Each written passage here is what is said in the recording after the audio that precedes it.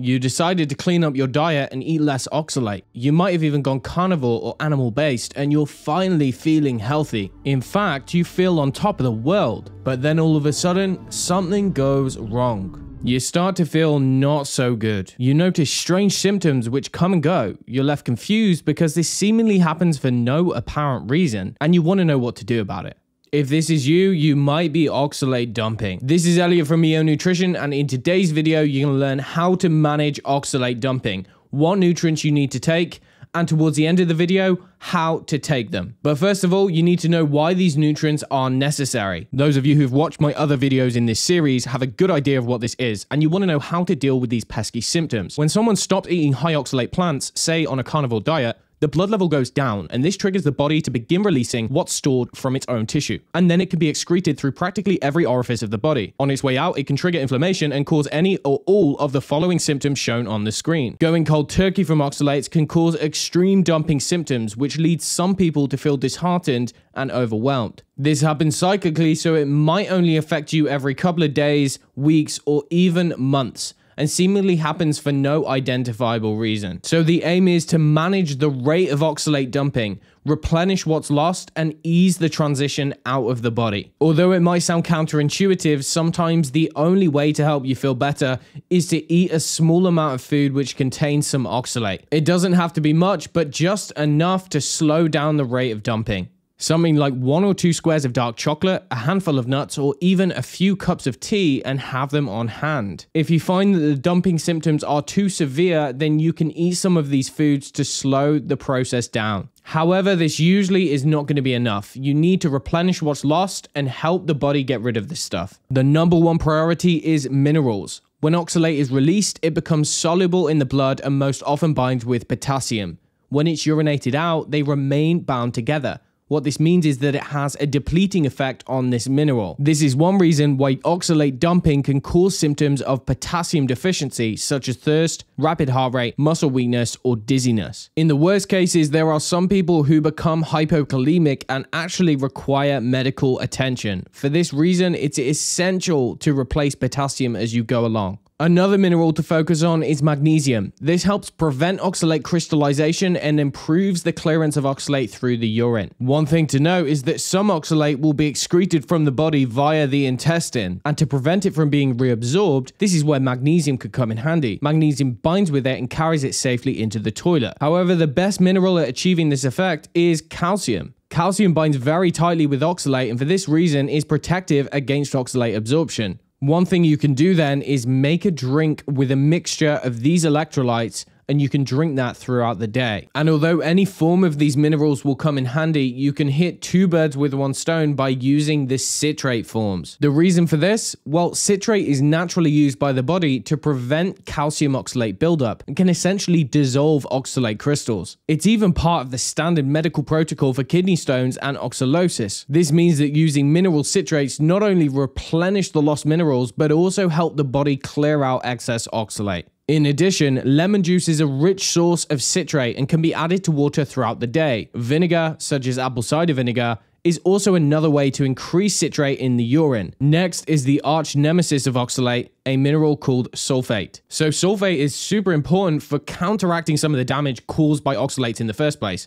But as it turns out, oxalate and sulfate share a transporter which is bidirectional. This means that in whichever direction oxalate is going, sulfate is going to go in the opposite direction. So if there's high oxalate traveling into the cell, it can kick sulfate out of the cell. And for this reason, it might have a depleting or wasting effect on this mineral. On the flip side, it also means that giving extra sulfate to the body might actually help the body get rid of excess oxalate. The same also applies to bicarbonate. With this in mind, both can be used in baths to support the body through the dumping process. Epsom salts gives the body sulfate, and you can use either sodium or potassium bicarbonate as well. Another useful source of sulfate is a supplement called MSM, which is also a powerful anti inflammatory and can be effectively used as pain relief. When it comes to B vitamins, there are three which tend to be the most effective. The first is biotin, and that's because oxalate accumulation in cells appears to block biotin enzymes.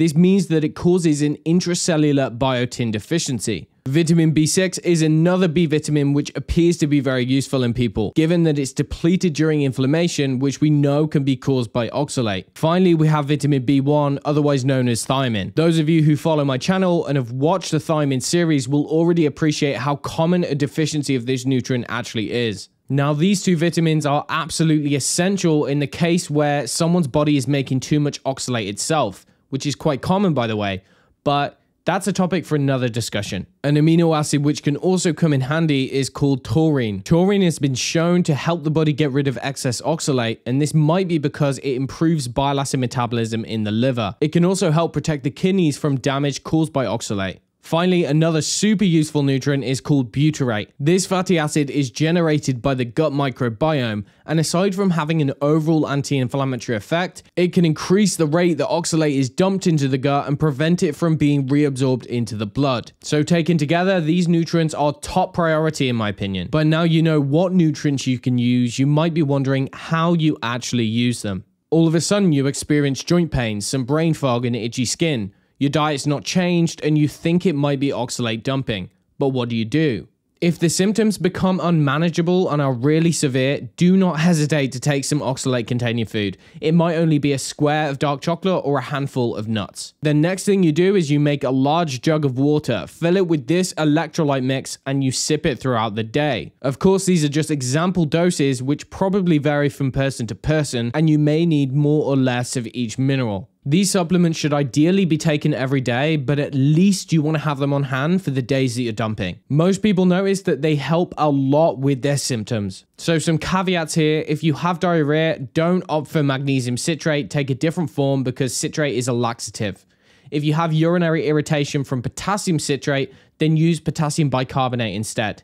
On the other hand, if you have constipation, you're probably not going to want to take a calcium supplement because that can worsen the situation. So replace it with magnesium. Another thing to watch for is if you choose to eat some oxalate containing food to slow down the dumping, don't take the minerals at the same time because magnesium calcium might impair the absorption of oxalate. So the dose of B vitamins varies widely from person to person. You start at the lower end and you gradually build up to the higher doses if necessary. The same goes for baths. Start a very small amount and build up very gradually if tolerated. Aim to remain in the bath for at least 20 minutes if possible, and if you don't have access to a bath, use foot soaks. A useful dose of taurine can range anywhere from 500 milligrams per day up to 10 grams per day. On the other hand, butyrate that can be used as either sodium butyrate or calcium magnesium butyrate, and the dose it ranges between 600 milligrams and 3 grams per day. Next up, something else that you can focus on is supporting the different organs when you're excreting oxalate by reducing inflammation. For example, if the main problem is the kidneys and the bladder, you want to be drinking plenty of fluids and using something like N-acetylglucosamine, which helps repair mucosal barriers. If you have joint pain, on the other hand, a proteolytic enzyme such as serrapeptase, MSM, or topical application of DMSO cream can also help. For the skin, aloe vera applied to the area along with CBD can also be helpful. Irritation to the eyes can be supported with saline solution or MSM eye drops. So overall, you want to aim to take these nutrients every single day if possible, uh, you might need high doses on the days that you're dumping, and you can take a lower dose of everything on the days that you're not dumping. Although different people need different things, this is a basic tool set which seems to apply for most individuals. In the next video in this series, I'm going to look at some of the root causes for oxalate problems and figure out whether someone is at risk or not. Make sure to check it out, and I'll see you next time.